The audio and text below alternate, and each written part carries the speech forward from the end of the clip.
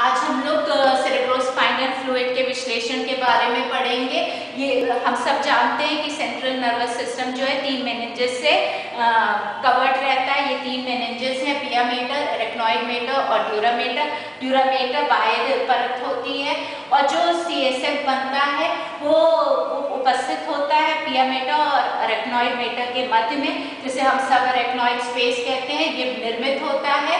Choroid के कोशाओं के सक्रिय श्रावण से और ये वैस्कुलर संरचनाएँ हैं जो कि वेंट्रिकल्स ऑफ़ ब्रेन में उपस्थित होती हैं।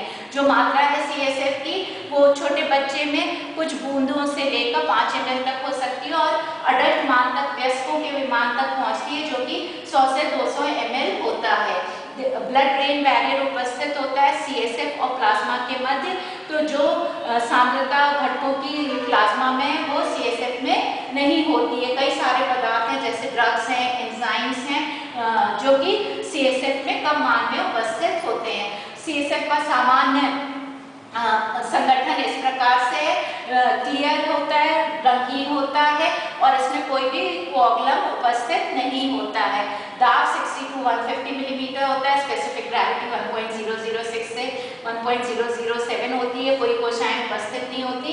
Zero to four mononuclear cells उपस्थित हो सकते हैं। पीएच एनारोबिकली अवायवीय परिस्थिति में 7.3 होता है, प्रोटीन का मान 10 टू 45 मिलीग्राम्स होता है।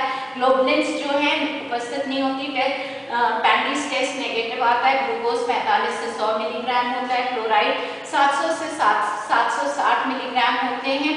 फिर यूरिया 20 टू 40 मिलीग्राम होती है, कैल्शियम जो है 5.5 टू 6 मिलीग्राम होता है क्रिएटिनिन 0.5 टू 1.2 मिलीग्राम ये सब मान 100 M L C S F में कोलेस्ट्रॉल 0.2 टू 0.6 आयरन एक से दो milligram uric acid 0.5 to 4.5 milligram प्रति 100 एम होता है। सामान्यतः सी एस एफ़ बिल्कुल स्पष्ट होता है क्लियर होता है, रंगीन होता है और कोई भी स्कंदित प्रोटीन उपस्थित नहीं होती है। इसमें असामान्यता कब उपस्थित होती है? असामान्यता रंग में उपस्थित हो सकती है टर्बिडिटी के कारण हो सकती है या स्कंदित प्रोटीन के कारण हो सकती है। प्राय जो रक्त में असामान्यता होती है वो रक्त की उपस्थिति के कारण होती है। रक्त जो है वो सी एस एफ़ में निम्नलिखित कारणों से पहुँच सकता है। लंबा पंक्चर करते समय यदि ट्रॉमा के कारण रक्त उपस्थित है तो आ, उसकी आरबीसी सामान्य आकार की होंगी। और पैथोलॉजिकल सिचुएशन है यदि कोई रोग अवस्था है तो हेमरेज के कारण या न्यूरोलॉजिकल ऑपरेशन के कारण रक्त उपस्थित है तो उनके आरबीसी का प्रीनेटेड अपियरेंस होता है। फिर पीले रंग का सीएसएफ हो सकता है येलो कलरेशन का ऑक्सी हीमोग्लोबिन होता है, उसके कारण होता है और फिर हीमोग्लोबिन विघटित होकर बिलीरुबिन बनाता है तो उसके कारण भी पीला रंग आ सकता है या कैरेटिन ट्रीटमेंट के कारण आ सकता है। सीएसएफ में बिलीरुबिन की मात्रा निम्नलिखित रोगों में बढ़ती है। कोलेस्टैटिक जॉन्डिस इक्ट्रस नियोनेटोरम बच्चों में जो जॉन्डिस होती है। दोनों प्रकार की बिलीरुबिन संयुग्मित और असंयुग्मित बिलीरुबिन सीएसएफ में बढ़ती है क्योंकि वो ब्लड ब्रेन बैरियर को क्रॉस कर सकती है। कैरेटिनॉइड्स तब सीएसएफ में बढ़ते हैं जब ब्लड ब्रेन बैरियर की जो पारगम्यता है वो किसी कारण से परिवर्तित हो जाए, प्राय सूजन अवस्थाओं में होता है। टर्बिडिटी जब कोशाओं की संख्या जो है सीएसएफ में बढ़ जाती है, तब टर्बिडिटी होती है। या तो कोशाएँ अधिक मात्रा में उपस्थित हो या सूक्ष्म जीव अधिक मात्रा में उपस्थित हो। प्राय मेनेंजाइटिस में, जो कि कॉकल टाइप की मेनेंजाइटिस है उसमें बैक्टीरिया जो है, अधिक मात्रा में उपस्थित होते हैं। इस कारण से टर्बिडिटी देखने को मिलती है। कोअगलम जो है फाइब्रिन क्लॉट कई बार बन जाता है रोगग्रस्त अवस्थाओं में। निम्नलिखित रोगों में क्लॉट बनता है। ट्यूबरकुलोसिस मेनेंजाइटिस है, या हेमरेजिक सीएसएफ रक्त जो है हेमरेज के कारण सीएसएफ में पहुँचा है तो उसके कारण क्लॉट बन जा रहा है। और फाइब्रिन क्लॉट जो है स्पाइनल ब्लॉक या ट्यूमर होता है तो उसमें भी बनता है। सीएसएफ प्रेशर जो है सीएसएफ में प्रेशर में परिवर्तन, दाब में परिवर्तन निम्नलिखित कारणों से आता है। या तो मेनिंजाइटिस है, या ट्यूमर उपस्थित है। तो मेनिंजाइटिस में सूजन के कारण सीएसएफ प्रेशर बढ़ जाता है और ट्यूमर्स में ब्लॉक के कारण सीएसएफ प्रेशर बढ़ जाता है।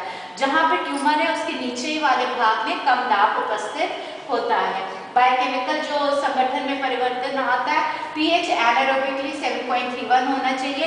ये partial pressure of carbon dioxide पर निर्भर करता है।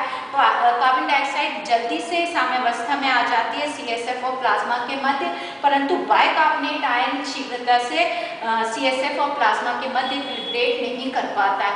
इस कारण, और जो रेस्पिरेटरी सेंटर है, वो जो है पीएच संवेदनशील है। यदि अम्लीयता बढ़ती है तो रेस्पिरेशन शीघ्रता से होने लगता है क्योंकि कार्बन डाइऑक्साइड कंटेंट रक्त में बढ़ रहा होता है। तो जब टू रैपिड अगर बहुत जल्दी एच माइनस का डेफिसिट होने, कमी होने लगती है प्लाज्मा में तो उसके कारण पीएच परिवर्तित होता है और फिर उसके प्रभाव सीएसएफ पे देखने को मिलते हैं।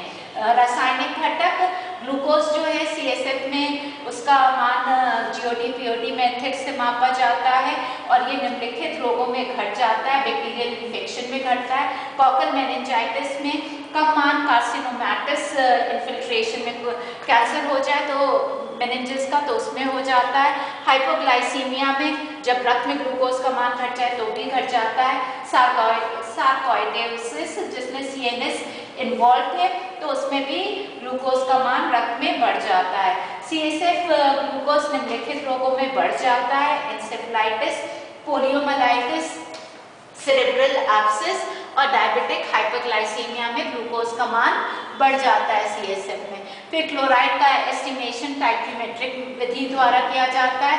सीएसएफ क्लोराइड्स जो हैं, वो मेनिंजाइटिस ट्यूबरकुलर मेनिंजाइटिस और कॉकल मेनिंजाइटिस में क्लोराइड्स की मात्रा घट जाती है और क्लोराइड्स की मात्रा निम्नलिखित रोगों में बढ़ती है हाइपरक्लोरामिक एसिडोसिस में और ये प्राय तब होता है जब रीनल फेलियर हो जाए किडनी कार्य करना बंद कर दे।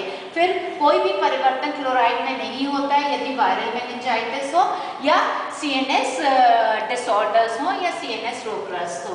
फिर सीएसएफ प्रोटीन्स का मापन हम टर्बिडिटी मेट्रिक मेथड से करते हैं या कल्वीमेट्रिक मेथड जो कि बायोरेट विधि से किया जाता है। सीएसएफ प्रोटीन जो है वो बढ़ जाती है जब ब्लड ब्रेन बैरियर विघटित हो जाता है और इसके कारण रक्त की प्रोटीन वहाँ पहुँच जाती हैं।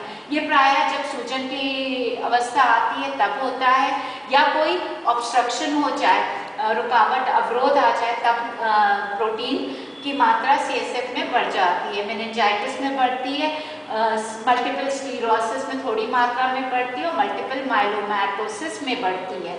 फिर ग्लोबलिन्स जो है एंडीज टेस्ट से इनका मापन करते हैं। ये इंक्रीज कर जाती है, इनकी मात्रा बढ़ जाती है। यदि सूजन जैसी अवस्था हो, जैसे कि अक्यूट मेनिंजाइटिस में मल्टीपल स्क्लीरोसिस में गामा ग्लोबलिन अक्यूट मेनिंजाइटिस में गामा ग्लोबलिन्स बढ़ती हैं। फिर मल्टीपल स्क्लीरोसिस और न्यूरोसिफिलिस में भी गामा ग्लोबलिन्स बढ़ जाती हैं।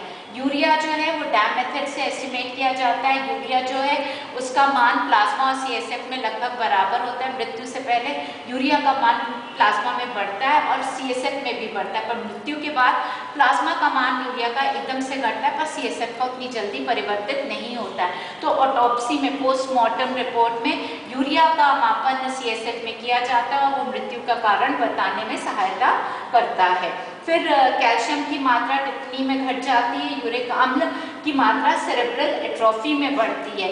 इंजाइम्स जो सीएसएफ की हैं, वो सीएनएस डिसऑर्डर्स जो रोग हैं केंद्रीय तंत्रिका तंत्र के, उनके मापने में सहायक होती हैं। ट्रांसएमिनेसिस कल्वीमेट्रिक विधि से पाई मापी जाती है। ये फोड़े में सेरेब्रल हैमरेज और इन्फॉक्शन में बढ़ जाती हैं। और क्रिएटिन काइनेज जो है, वो केंद्रीय तंत्रिका तंत्र के रोगों में इसका मात्रा बढ़ जाती है।